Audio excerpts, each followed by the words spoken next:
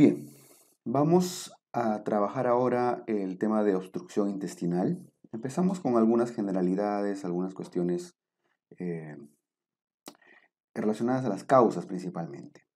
A ver, ¿cuáles son las causas más comunes de obstrucción intestinal? Depende de qué región nos están hablando. Si nos preguntan por el intestino delgado, la primera causa en cualquier parte del mundo es el síndrome adherencial, es decir, las famosas bridas y adherencias. ¿Ok? Las famosas bridas y adherencias. Ahora, las bridas y adherencias las bridas y adherencias eh, son, que obstruyen son las bridas y adherencias postquirúrgicas, las postoperatorias. Se ocurren después de una cirugía, ¿verdad? Ahora, si bien la mayoría de veces el, término bridas y adherencias se suele usar como lo mismo dentro del síndrome adherencial, no son del todo iguales. Deben recordar, deben saber que las bridas son, se les llama también cuerdas, son estructuras vascularizadas. Le voy a agregar ahí un pequeño texto. Las bridas son vasculares, por eso se les llama también cuerdas, y son de aparición tardía. En cambio, las adherencias son eh, de aparición temprana, porque son avasculares. Las bridas son vasculares y las adherencias son avasculares. ¿Cuál aparece de forma temprana? Las adherencias. ¿Cuál aparece de forma tardía? Las bridas. Ahora, entre los dos, ¿cuál es más obstructiva? Mucho más obstructiva es la brida. La brida postquirúrgica. ¿Ok? Bueno, en el examen casi nunca los han, prácticamente, digamos que nunca ha sido diferenciado forma parte del síndrome adherencial. Ahora, ¿cuáles son las cirugías que más bridas y adherencias generan? Las que más bridas y adherencias generan son las cirugías em, relacionadas en la cual hay manipulación del intestino delgado, específicamente del ileón. Las cirugías que implican manipulación del ileón son las que más síndrome adherencial generan. ¿Y en qué tipo de cirugía se suele abordar el ileón? La mayoría de veces en cirugías pélvicas o del abdomen inferior en general, ¿no? La apendicitis y demás. Listo. Eso con el síndrome adherencial, la causa más frecuente de obstrucción del intestino delgado. Y si el paciente no ha sido operado, no va a formar bridas y adherencias. En los no operados, la causa más común son las hernias, específicamente las hernias inguinales. ¿Esto en quiénes? En los no operados. Bien, eso con el intestino delgado. Ahora, en el caso del intestino grueso, la causa más frecuente vienen a ser los vólvulos. Y ya sabemos que los vólvulos más comunes son los vólvulos de sigmoides, ¿verdad? La causa más frecuente de obstrucción del intestino grueso. Y en segundo lugar, las neoplasias, los cánceres, cánceres de colon. Estamos hablando del intestino grueso, ¿no? Ahora, este tema, esta parte se refiere específicamente a regiones como el Perú, en vías de desarrollo, ¿no? No industrializados, como se le llamaban antiguamente. Eh, porque en lugares desarrollados, en otros países, en Estados Unidos, en Europa, no hay muchos vólvulos. Acuérdense que los vólvulos, tienen principalmente una causa, una causa muy asociada a la mala dieta, a la pobreza y demás. Entonces, en lugares como Europa, como Estados Unidos, donde los vólvulos no son el primer lugar, ¿quién se convierte en primer lugar? Las neoplasias. Entonces, a ver, Resumimos esto. En países no desarrollados como el Perú, los vólvulos son la primera causa y en países desarrollados son las neoplasias. ¿Ok? Listo, entonces ahí tienen la primera causa de cada uno de ellos, el síndrome adherencial para intestino delgado y los vólvulos para intestino grueso. Ahora, si la pregunta es, eh, si les preguntan cuál es la principal causa de obstrucción intestinal y no les mencionan el segmento, si es intestino delgado grueso, en general, la causa más frecuente de obstrucción intestinal en cualquier parte del mundo es el síndrome de bridas adherencias, el síndrome adherencial. ¿ya? Esto si es que no les preguntan el segmento específicamente. ¿Ok? Listo. Eso respecto a las causas. Ya ténganlo por favor bien claro. No tengo un detalle. ¿ah? El intestino grueso, el intestino grueso, el colon, no suele generar adherencias. No está ni siquiera en segundo lugar no suele generar adherencias. ¿Ok? Muy bien. Ahora, ¿cómo se clasifica el, eh, cómo se clasifica la obstrucción intestinal? Hay muchas formas de clasificarlo. Muchas, muchas formas. Una de ellas es según su ubicación. Si es que son obstrucciones altas, medias o bajas. ¿Y cuáles, los, cuáles son los puntos de corte para clasificarlos en altas, medias o bajas? Miren, las obstrucciones altas se separan de las medias a nivel del ángulo de trades. Si están por encima de trades, son obstrucciones altas. Si están por debajo de trades, medias. ¿Hasta dónde son las medias? Hasta la válvula iliocecal. Significa que una obstrucción alta está por encima de trades, una obstrucción media entre trades y la válvula iliocecal, y las obstrucciones bajas se refieren a las que son distales a la válvula iliocecal. Ahora, si ponemos segmento de intestino que corresponde a cada uno de ellos, noten que en las obstrucciones altas, ¿qué parte del intestino está? El duodeno, ¿no? Porque el duodeno justamente termina en el ángulo de Treitz. En las obstrucciones medias, ¿quiénes están entre Treitz y la válvula? El yeyuno y el ileón. Y en las obstrucciones bajas está el colon, ¿cierto? El colon. Arriba el duodeno. Listo. Ahora, esa es una forma de clasificarlos, ¿ya? Otra forma de clasificar a las, a las, eh, em, a las obstrucciones es respecto a dónde nace la causa de la obstrucción. Por ejemplo, por ejemplo, en el caso de las, eh, las obstrucciones se pueden clasificar en obstrucciones de causa intrínseca, obstrucciones de causa extrínseca, obstrucciones intraluminales. ¿Sí? Las causas intrínsecas se les llama también eh, intraparietales porque nacen en la pared intestinal. Por ejemplo, un cáncer, una neoplasia, nace en la pared intestinal. Es una causa intrínseca a la pared o intraparietal. Vamos a poner el otro nombrecito, ya que también se le, como también se le conoce, causa intrínseca o causa intraparietal. Las neoplasias, la diverticulitis que acabamos de hacer en una sesión anterior, es un problema inflamatorio de la pared del intestino. La enfermedad de Crohn también es un problema de la pared del intestino. Así que todos ellos se les considera causas intrínsecas a la pared. Las causas extrínsecas, que está en la segunda imagen, llamadas también causas extraparietales, son las que nacen desde afuera del intestino. Por ejemplo, ahí está el síndrome de Brías y herencias.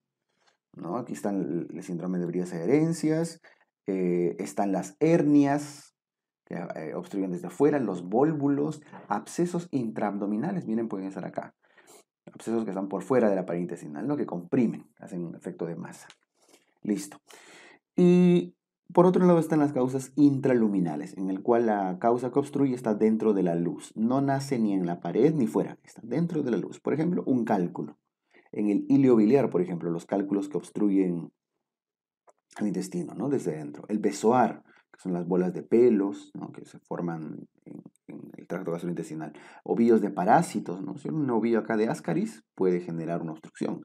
La intususcepción o imaginación intestinal común en los niños, esa que hace jalea de grosella y demás. Listo, entonces tienen lesiones intrínsecas, extrínsecas e intraluminales. ¿Ok? La pregunta común en, este en esta parte va a ser, ¿cuál de las siguientes es una causa intrínseca? ¿Cuál de las siguientes es una causa extrínseca? ¿Cuál es intraluminal? Ahora, otro tipo de pregunta podría ser, no lo han hecho así hasta ahora, ¿cuáles de las siguientes son las, las causas más comunes de obstrucción? ¿Son intrínsecas, extrínsecas o intraluminales? Son extrínsecas, ¿verdad? Porque ahí están viendo las principales causas de obstrucción, las bridas, las hernias, los abscesos, etcétera. Bien, listo. Eso con la, con la clasificación de la obstrucción intestinal, en cuanto a sus generalidades. Vamos a la clínica. ¿Qué, ¿Qué cosa caracteriza a la obstrucción intestinal? Hay obstrucciones altas, hay obstrucciones bajas. Por ejemplo, algo que, que, tienen en común todas las obstrucciones son dolor abdominal. El dolor en general suele ser cólico de tipo intermitente. Ahora, hace un rato les dije que podían ser altas, medias o bajas. Acá hemos puesto clínicamente solo el tema de las altas y bajas. ¿ya? Podemos poner al medio, acá, entre los dos, obstrucciones medias. Clínicamente tienen ciertas características como que medio de alta, medio de baja, así que por eso es que no suele incluirse dentro de la clasificación clínica. Pero bueno, en general casi todas las obstrucciones suelen hacer un dolor de tipo cólico intermitente. Ahora, Otra característica clínica de, de la obstrucción son los vómitos. Los vómitos suelen ser, cuando son obstrucciones altas, son obstrucciones precoces. Y cuando son obstrucciones bajas, son, son vómitos, perdón, tardíos. Cuanto más alta la obstrucción, más precoz el vómito. Cuanto más baja la obstrucción, más tardío el vómito. Bien, porque cuando es alta, el estómago se llena rápido y vomita rápido. En cambio, cuando es baja, cercana al colon, al colon, por ejemplo, hay más longitud intestinal que llenar, así que el vómito demora un poquito. La distensión, cuando la obstrucción es alta, es una distensión epigástrica, se distiende solamente el estómago. En cambio, cuando es baja, es una obstrucción más, una distensión más generalizada, ¿no? Una distensión abdominal marcada. Los ruidos hidroaéreos en general están disminuidos en frecuencia, son poquitos, pero son muy intensos, aumentados en tono. Esto por la lucha intestinal por vencer la obstrucción. Son muy, suenan fuerte, pero son pocos. Disminuidos en frecuencia, pero aumentados en tono. Bien, hasta ahí la parte clínica. Si resumimos esto, eh, el dolor suele ser cólico intermitente. Los vómitos son más precoces cuanto más alto es y la distensión es más marcada cuanto más baja es. Miren, arriba donde estábamos poniendo alta, alta media, baja, ahí donde dice duodeno, yeyuno, ilion y colon. Resumamos ese cuadrito de la parte clínica. Las obstrucciones altas, por encima de trades, se caracterizan principalmente por vómitos. Principalmente vomitan. Ya hemos visto que hace, puede distenderse, sí, pero es una distensión bastante eh, chica, eh, epigástrica. Principalmente hay vómito. Las obstrucciones medias se caracterizan sobre todo por dolor, dolor de tipo cólico. Y las obstrucciones bajas se caracterizan principalmente por distensión. Esto es relativo ¿ah? y una ayuda básicamente para el examen. Porque en general, dependiendo de, la, de la causa que esté generando la obstrucción, la sintomatología va a ser distinta. ¿Ok? Muy bien. Ahora, en la parte eh, metabólica, en la última línea de este cuadrito, noten que hay diferencias. Las obstrucciones eh, altas, las obstrucciones altas, suelen manifestarse con alcalosis, con hipocalemia e hipocloremia. Están alcalóticos. ¿Por qué hacen alcalosis los, las obstrucciones altas? Porque acuérdense que las obstrucciones altas principalmente vomitan tienen vómito precoz. ¿Y qué cosas suelen vomitar? Contenido gástrico. ¿Y qué cosa hay en el contenido? En el contenido gástrico, ácido clorhídrico. Al vomitar ácido clorhídrico, al eliminar ácido del cuerpo, ¿cómo quedamos por dentro? Con alcalosis. Por eso, eh, ¿qué cosa caracteriza las obstrucciones? La alcalosis metabólica. Pueden completar la palabra metabólica si gustan. Alcalosis metabólica. Cae eh, cae, la, eh, cae el potasio y cae el cloro también. ¿Por qué cae el cloro? Porque estamos botando ácido clorhídrico, se pierde cloro y es acompañado por el potasio. Alcalosis metabólica con hipocalemia e hipocloremia. Y en general, todo paciente vomitador, ya sea adulto o niño, suele manifestarse así, los vomitadores. Alcalosis con hipocalemia e hipocloremia. Mientras las obstrucciones bajas, cuando el problema está, por ejemplo, a nivel distal, a nivel colon, a nivel del recto, suele generar acidosis con hiponatremia. ¿Por qué acidosis? Acidosis metabólica, usualmente por deshidratación, porque los pacientes generan un tercer espacio, acumulan los líquidos dentro del intestino, no lo absorben bien por la obstrucción y eso genera acidosis. Acidosis y se pierde sodio ya también. Listo, entonces conclusión, las obstrucciones altas, los vomitadores hacen alcalosis con pérdida de potasio y cloro y las bajas hacen acidosis con pérdida de sodio principalmente. Listo. Esto es importante, las diferencias entonces entre las obstrucciones altas y bajas. Vamos a la parte del diagnóstico. En el diagnóstico de las obstrucciones intestinales, el estudio de elección, el estudio de imágenes de elección siempre va a ser la radiografía. ¿Y qué tipo de radiografía se toma? Esto me han preguntado más de una vez, por eso está resaltadito. ¿Qué tipo de radiografía se toma? Es una radiografía de abdomen en bipedestación. El paciente tiene que estar paradito, parado, de pie. ¿Y para qué? ¿Cuál es la razón por la que se toma una radiografía abdominal en bipedestación? Porque solamente si el paciente está de pie se suelen ver los signos radiológicos característicos, que son por ejemplo, los niveles hidroaéreos que están viendo acá, diferentes niveles, que son interfaces entre estados líquidos y gaseosos, niveles hidroaéreos. Y a la izquierda están viendo otro signo que es, el signo de, las imágenes, ¿no? El signo de las monedas apiladas o pila de monedas. Ambos son signos característicos de la obstrucción que suele verse sobre todo en la radiografía eh, de pie. Ahora, la radiografía no necesita contraste, es una radiografía simple. El contraste se usa solamente cuando tienen duda diagnóstica o quieren ver ciertos puntos en específico. En general, se trata de una radiografía simple. ¿Ya? Una radiografía simple. Ahora, la zona del intestino que más niveles hidroaéreos suele mostrar es la zona del intestino medio, es decir, yeyuno y león, el intestino medio, son los que más niveles hidroaéreos muestran. Entonces, cuando en general les pone un caso en el cual de obstrucción, el paciente que vomita, se distiende, le duele, em, y les mencionan en el caso clínico que hay niveles hidroaéreos, lo más probable es que se esté refiriendo a una obstrucción del intestino delgado, específicamente del yeyuno o el ilion. ¿Ok? Listo. Antes de pasar al tratamiento, algo que no hemos comentado, es sencillo, es la triada de la obstrucción. Una triada entre comillas, una triada de examen. Más que nada porque responde preguntas de examen, no tanto porque, porque se describa como una triada. Los tres elementos clínicos que siempre están en toda obstrucción son el dolor, los vómitos y la distensión. Unos más que otros. Hay algunos incluso en el cual predomina solo uno de ellos, ya hemos visto. Pero casi toda obstrucción duele, vomita, poco o mucho, y se distiende, poco o mucho también. ¿Ok? Listo. Eso eh, respecto a la parte clínica y al diagnóstico de la, de la obstrucción intestinal. Radiografía simple en bipedestación. Niveles hidroaéreos, imágenes en pila de monedas. Ahora, ustedes dirán, pero, pero William, si, si un paciente está en shock, ¿cómo lo voy a parar? ¿Cómo va a estar de pie? Pues bien, si un paciente está en mal estado general, no puede eh, pararse, no puede estar en bipedestación, la radiografía es con el paciente echado. Ahí está, estoy haciendo su barriguita, estoy haciendo barrigoncito porque está distendido, ¿no? Entonces su cabecita. ¿Ya? Ahí está. El paciente está echadito. Manitos. Y la placa tiene que ser de costado, lateral. Se llama incidencia tangencial.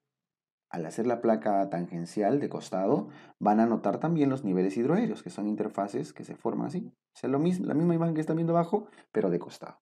O sea, sí hay posibilidad.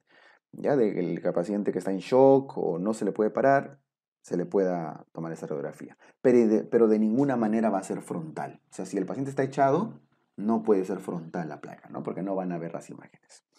Listo. Eso respecto al diagnóstico. Vamos finalmente al manejo, al tratamiento en general de las obstrucciones.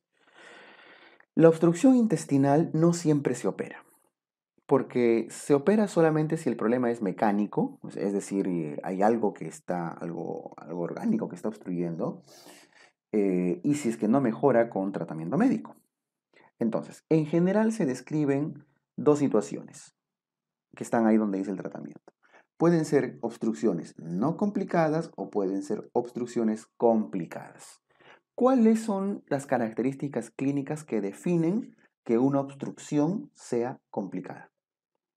Por ejemplo, las obstrucciones complicadas son aquellas que tienen signos de estrangulamiento, signos en los cuales se, nota que el intestino está sufriendo, está haciendo necrosis. ¿Y cuáles son? La fiebre y la leucocitosis. Fiebre leucocitosis es signo de complicación porque se está necrosando el intestino. ¿Y cuáles son los casos no complicados? Pacientes que no tienen fiebre, no tienen leucocitosis y en general no tienen signos inflamatorios, signos de isquemia. ¿Ok? Listo, la fiebre y la leucocitosis es clave ¿ah? para definir complicación en una obstrucción. ¿Qué se hace? Empiezo con el número 2. Si el caso clínico o el paciente está obstruido, tiene dolor, vómito, distensión, y por ahí le dicen 15.000 leucocitos y alza térmica. Significa que su intestino se está necrosando, por eso hace isquemia, por eso hace fiebre, por la isquemia. ¿Qué se hace en los casos complicados? Tiene que hacerse una exploración quirúrgica, la parotomía exploradora. Se opera. ¿ok? De frente. Bueno, obviamente con un paciente en buen estado, ¿no? Hay que tratar de recuperar, pasar volumen, etc. En cambio, los casos no complicados, que no tienen fiebre, no tienen leucocitosis, como no tienen signos de que haya isquemia, se intenta que el paciente resuelva espontáneamente su obstrucción. Y para eso tienen primero que hidratarlo bien a su paciente. Hidratación. Tienen que ponerle una sondita para descomprimir el estómago. NPO y sonda nasogástrica. De hecho, el manejo de los casos no complicados es hidratación más sonda. Se entiende, se asume que está en NPO, no si está obstruido no le van a dar comida. Se hidrata y se le pone una sondita, esto en los casos no complicados. Usualmente por un promedio de 12, 24 horas, 24 horas en promedio, esperando que eh, bien hidratado, con descompresión gástrica y demás, se pueda resolver espontáneamente. Porque quizá incluso ni siquiera es una obstrucción mecánica. Solamente si este proceso falla, fracasa, se opta por hacer una exploración quirúrgica ante el fracaso del manejo conservador. ¿Ok? Listo. Un dato final. Este tema de la hidratación con sonda, como manejo de los casos no complicados, aplica tanto para obstrucciones totales como para obstrucciones parciales. Para los dos, totales y parciales. ¿Por qué? ¿Por, qué les cuento esto? Porque no hace mucho en un examen, no de ENAM, en un examen de recientado, vino una pregunta que decía, ¿cuál es el manejo eh, inicial de una obstrucción intestinal no complicada parcial? Bueno, decía una obstrucción intestinal no complicada, o sea, había que hidratarlo, ponerle sondita. El problema es que decía parcial. Y muchos decían, uy, dice parcial. Eh, entonces, solo lo hidrato. O de repente decían otros, mejor si es parcial solo le pongo sonda. Otros decían, no, pero si es parcial le pongo media sonda, corto la sonda. No, no es así, ¿no? Es, sea total o sea parcial, el manejo es hidratación con sonda para casos no complicados. ¿Está bien? Listo, eso como medida general. Y ya está. Eso sobre las, respecto a las generalidades de las obstrucciones intestinales. ¿ya? Eso ahí, ahí como ven, em, hemos visto las causas, los datos clínicos, el diagnóstico de imágenes y el tratamiento general. ¿Ok? Bien, pasamos ahora a otro tema, a la siguiente lámina, que ya son obstrucciones específicas, tipos de obstrucciones específicas. Una de ellas, los vólvulos intestinales los vólvulos. Perdón. ¿Qué son los vólvulos? Es un tema que conocen bastante. Los vólvulos son torsiones del intestino. El intestino, se tuerce sobre su eje. ¿En qué sentido suele torcerse? En sentido antihorario. En contra, al revés, en contra de las agujas del reloj, ¿no? ¿Qué segmentos de intestino suelen volvularse? Segmentos que tienen mesenterio largo. ¿Y cuáles son justamente esos segmentos que tienen el mesenterio redundante, el mesenterio largo? Ahí está a la derecha. ¿Cuáles son? A la cabeza el sigmoides, de lejos, más del 80-90%, el que más se volvula. En segundo lugar, aunque no tiene un, intestino muy redundante, un mesenterio muy redundante, el ciego es de la segunda zona frecuente de volvulación. Solamente que para, eh, eh, para que el ciego se volvule tiene que haber cierto grado de malrotación. Es decir, el intestino no debe haber hecho su rotación completa o debe haber eh, lo hecho en sentido contrario, demás. Pero la malrotación intestinal es una condición usualmente para que el, el, ciego pueda volvularse. Igual de ninguna manera no sobrepasa al sigmoides jamás. El colon transverso en tercer lugar y luego el ángulo esplénico. Nos interesan los dos primeros, vólvulo de sigmoides y vólvulo de ciego. Tres cruces, una cruz. ¿eh? por respecto a, los, a la frecuencia. Listo. A la izquierda otra vez, el vólvulo intestinal no olviden que corresponde a la primera causa de obstrucción del intestino grueso. La primera causa de obstrucción del intestino grueso del colon, ¿no? Sobre todo en países no desarrollados, países en vías de desarrollo, como, habla, como se habla actualmente. Los vólvulos están asociados a la dieta. ¿Y una dieta? ¿Qué tipo de dieta? Dieta rica en fibra en fibra, en carbohidratos. ¿Por qué? Eh, porque el consumo de fibra, abundante de fibra y de carbohidratos, que es típico de la pobreza, de abuelitos de zonas altoandinas, donde hay mucha pobreza y prácticamente no hay, se comen muy pocas proteínas, pocas eh, eh, verduras, frutas, etc. prácticamente todo es maíz, papa, maíz, papa, esto genera mucha fermentación en el colon. La fermentación que generan los carbohidratos y la fibra en el colon hace que se genere aire, abundante cantidad de aire, y eso distiende el sigmoides. Ahora, en uno o dos días no pasa nada, pero si la dieta, la persona esta ha vivido sus 50, 60, 70 años comiendo prácticamente puro carbohidrato, durante esos 60 años la distensión de ese sigmoides lo vuelve largo. Y el sigmoides de lo que era, por ejemplo, así, ¿ya? El sigmoides, el sigmoides se vuelve así, largo, por la fermentación de sus alimentos, larguísimo. Y eso genera más redundancia y eso genera que se pueda torcer con más facilidad. Bien, esa es la razón. Por eso es común en abuelitos de regiones altoandinas, asociado a la dieta rica en fibra y en carbohidratos. Bien, la clínica del vuélvulo intestinal, estamos hablando que es del sigmoides usualmente, así que se trata de una obstrucción baja. ¿Y qué cosa, de, qué cosa eh, caracterizaba una obstrucción baja? Bueno, hay dolor, un dolor abdominal alcohólico muy intenso porque es una torsión del intestino, vómitos tardíos. En las obstrucciones bajas los vómitos son tardíos, ¿verdad? Y como estamos hablando de colon, puede llegar a, puede caracterizarse por ser fecaloideos incluso. Y bueno, como toda obstrucción baja, genera distensión abdominal. Marcada, importante. Noten que siempre es esa triada, ¿no? Dolor, vómitos y distensión, con sus características respectivas. Si auscultaran en la barrita de un, de un válvulo, van a encontrar el famoso timbre metálico, que son los ruidos hidroaéreos intensos. Muy poquitos, pero muy intensos. ¿no? Y suena como, como golpear una pequeña lata o metal. El diagnóstico se hace mediante, se confirma mediante radiografía. ¿Cuál es el signo radiológico característico? El signo del grano de café o asa en omega, que no es otra cosa que este signo de acá. El asa intestinal redundante, dilatada. ¿Qué significa grano de café o asa en omega? Grano de café o asa en omega no significa otra cosa que dilatación del sigmoides. Dilatación del sigmoides. Bien, listo. Con eso eh, tenemos el, estudio, el estudio que más se hace, la radiografía. Ahora, no siempre el grano de café o asa en omega van a ser completamente determinantes de que es un, un vólvulo de sigmoides. Podría ser eh, un vólvulo de incluso hasta del mismo ciego, que también da grano de café, aunque más chiquito. Pero no es 100% patognomónico o no es 100% seguro que sea un de sigmoides.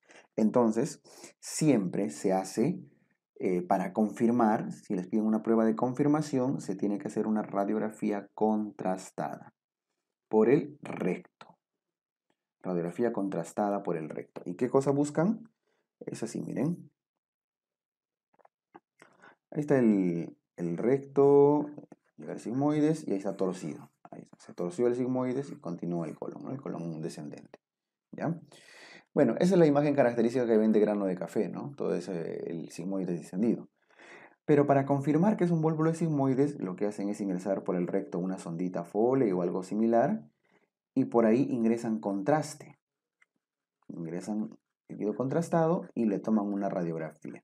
Como está obstruido ese nivel, van a encontrar que sea una imagen que se adelgaza y hasta que se hace una puntita. Eso es característico y conocido como el famoso pico de pájaro, parecido al de la acalasia, ¿no? Del, esófago. El, pisco de, el, pisco, no, el pico de pájaro es un signo radiológico en el cual se usa contraste desde el recto. Esa es la imagen. Bien, entonces, ante duda diagnóstica, eh, para confirmar un vólvulo de sigmoides se hace una radiografía contrastada por el recto y van a encontrar el signo del pico de pájaro. Muy bien, listo. El tratamiento el tratamiento del vólvulo de, del de sigmoides eh, no siempre es quirúrgico también. Va a depender, como la mayoría de obstrucciones, del estado del intestino. Y hay dos escenarios acá. Los pacientes, los casos en los cuales no están complicados, es decir, paciente estable, significa mm, no tiene hipotensión, ni taquicardia, nada.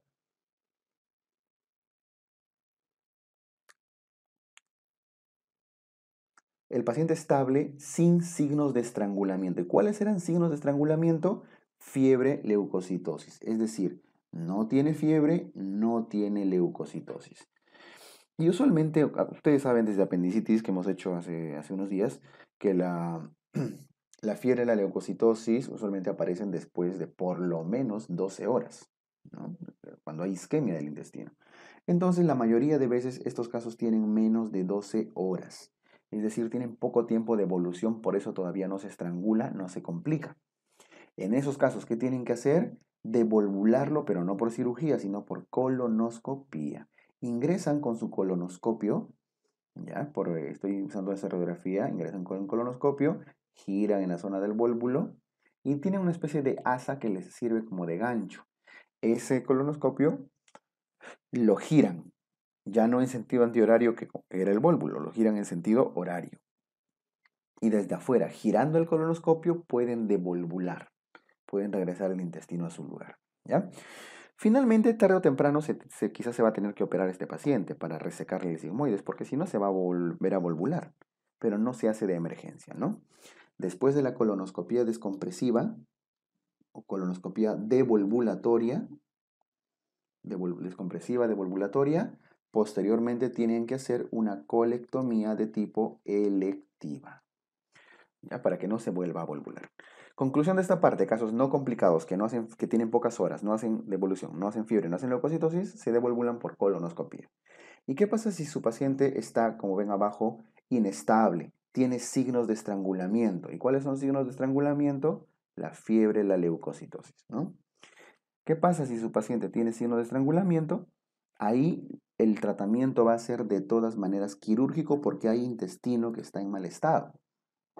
Ahora, Ahí tienen que valorar eh, eh, la cirugía que tienen que hacer. ¿La cirugía en qué consiste? En resección, en resección intestinal. Se reseca el segmento de intestino que está volvulado, en este caso el sigmoides. Se hace colectomía, colectomía, colectomía. Colectomía y colectomía. Entonces, como están resecando el sigmoides que está volvulado, se quedan con dos extremos, ¿no es cierto? Es decir, así. Cuando resecan el vólvulo, ya lo devolvularon, digamos que ya eh, lograron corregir el vólvulo, lo regresaron a su lugar, pero el intestino tenía signos de estrangulamiento. Tienen que resecar toda esa parte y se van a quedar con dos extremos, ¿verdad? Una vez de haber resecado eso. Entonces tienen que decidir o lo anastomosan, lo unen, lo suturan, o lo colostomizan. ¿Ya? ¿De qué depende eso? Depende de varios factores, entre ellos las características del intestino. Si es que no hay gangrena del intestinal, se les llama situaciones no complicadas, pueden anastomosar. Pero si hay gangrena intestinal, el intestino está, han resecado el intestino, pero sus bordes todavía están gangrenados, los bordes se quedan, están en casos complicados, luego de hacer la colectomía tienen que colostomizar. Entonces, tienen estas dos opciones. Nuevamente, o anastomosan el intestino en casos no complicados, o sea que no hay gangrena, no gangrena, o en todo caso ostomizan. O sea, ¿y qué tipo de ostomía se hace? Tipo Hartmann. El cabo proximal se ostomiza y el cabo distal, la parte distal que va hacia el recto, se cierra, se sutura hacia adentro, ¿no? Solamente dejan la parte proximal abierta para que por ahí puedan salir las heces y se le pone una bolsa de colostomía, ¿cierto? Listo, esto se hace en casos en los cuales hay gangrena del intestino, porque no se puede hacer una anastomosis en un intestino gangrenado. Listo. Pero este tema de la gangrena o no gangrena es un tema muy limitado, porque no depende solamente de si hay o no hay gangrena. ¿Por qué? ¿Qué pasa si el intestino está, si el, intestino está muy bonito, rosadito, no está gangrenado, pero el paciente tiene albúminas en 1.5, por decir. Ustedes harían una anastomosis en un paciente con hipoalbuminemia, no lo van a hacer, ¿verdad? Porque va a ser dehiscencia, se va a volver a abrir sus suturas. Entonces, a pesar que el intestino está en buen estado, como el paciente está hipoalbuminémico, seguramente van a colostomizar. Entonces, en general, pacientes en buen estado, o a la derecha lo voy a poner, ¿ya? Pacientes en buen estado pueden hacer anastomosis. Pero pacientes en mal estado tienen que colostomizar. ¿Ya? Cuando hay malas condiciones para anastomosis. Listo. Y si, eh, retrocediendo un poquito, si tiene pocas horas de evolución, no hay fiebre leucocitosis, siempre se intenta primero una colonoscopia. Listo. Eso con el tema de válvulas sigmoides dentro de las obstrucciones intestinales. Ahora vamos a tres temas que son recontra cortos porque son muy raros, raros de ser preguntados y muy poco frecuentes. Bueno, al menos menos frecuentes que los válvulos, ¿no? Primero vemos al síndrome de Wilkie. El síndrome de Wilkie es una obstrucción del duodeno a nivel de su tercera porción. D3 significa tercera porción del duodeno. ¿Por qué? Acuérdense que el duodeno eh, pasa por debajo del ángulo aorto-mesentérico. Esta es la aorta y esta es la arteria mesentérica. Lo estamos viendo de costadito. ¿ya? Lo normal es la imagen de la derecha. Entre la aorta y la arteria mesentérica superior, voy a sus nombrecitos, entre la aorta y la arteria mesentérica superior, debajo eh, pasan varias estructuras porque el ángulo es grande, es 40, 50 grados. Tienen al duodeno, tercera porción del duodeno. ¿Quién más pasa por debajo de ese ángulo? El páncreas, el uncus, el proceso uncinado del páncreas. Y pasa la vena renal, la vena renal del lado izquierdo. O sea, pasan varias estructuras. Nos interesa el duodeno porque es el que se obstruye. ¿Cuándo se obstruye? Cuando el ángulo se, se, ah, se acorta, ¿no? Cuando hay un ángulo muy pequeño. ¿Y por qué se reduce este ángulo? Suele ser por bajas de peso bruscas, uso de corsés, etc. N razones en las cuales al reducirse el ángulo ortomesentérico prácticamente ahorca a todos y genera obstrucción a nivel del duodeno, tercera porción, obstrucción intestinal. Eso es el síndrome de Wilkie. Se tiene que corregir quirúrgicamente y a veces hay que corregir los ángulos, hacer bypasses intestinales, etc. Tiene su complicación. Listo, hay que conocer qué cosa es Wilkie básicamente. Otro, otro tipo de obstrucción eh, es el síndrome de Ogilvy. El síndrome de Ogilvy es el otro nombre que se le da a las pseudo obstrucciones del colon. Son falsas obstrucciones del colon. A ver, el síndrome de Ogilvy es eh, justamente como está descrito acá. Es aquella aparente obstrucción del colon en la cual hay signos clínicos de obstrucción, o sea, el paciente está distendido, seguramente puede estar vomitando, con dolor, aparenta toda una obstrucción. Pero si le abrieran el abdomen no van a encontrar nada. No hay ninguna causa mecánica que esté generando obstrucción. Así que hay algo que está haciendo que el intestino simule estar obstruido. Todas esas falsas pseudoobstrucciones del colon son las que se conocen como síndrome de Ogilvy. Ahora, ¿qué cosas, qué situaciones desencadenan eh, que parezca que está obstruido? El uso de narcóticos, por ejemplo, opiáceos. ¿no? Ustedes saben que los opiáceos estos generan hilio. Muchos antidepresivos también pueden generar este, este efecto, simular una obstrucción. Es típico, ¿no? El abuelito cuando van al, lo llevan al asilo, muchos abuelitos, a un asilo ahí para que lo atiendan, porque ahí va a ser mejor, ¿verdad? Así dicen. No, ni tanto. Hay lugares donde los abuelitos los tienen pepeados todo el rato. Les ponen sus, fármacos para que se, pasen toda la semana dormidos y recién fin de semana cuando viene la visita los familiares, ahí lo tienen despiertito y bien bañadito. Eh, les cuento estas cosas porque pasan en la realidad constantemente en la emergencia. Bueno, no tanto, pero suelen llegar a veces pacientes que son traídos de asilos, abuelitos, que parece que están obstruidos.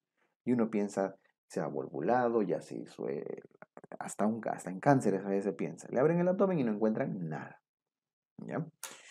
Los narcóticos están en la cabeza. Eh, los traumas.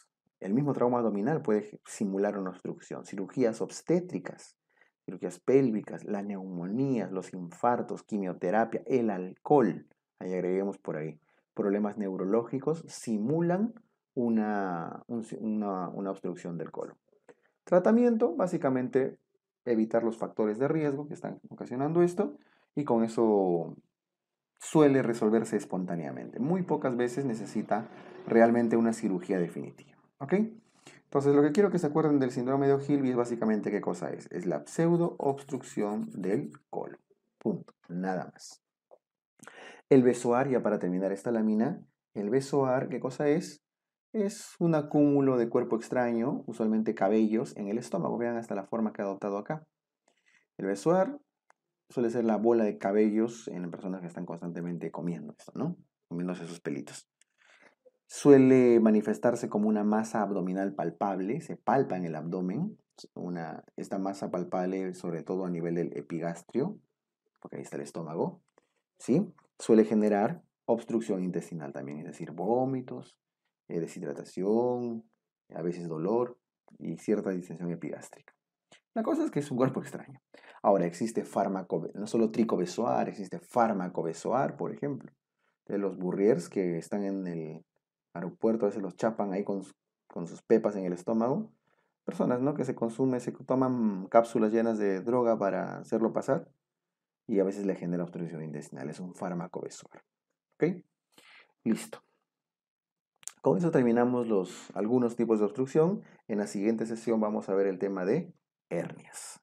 Los diferentes tipos de hernias. ¿Ok? Terminamos acá. Gracias chicos.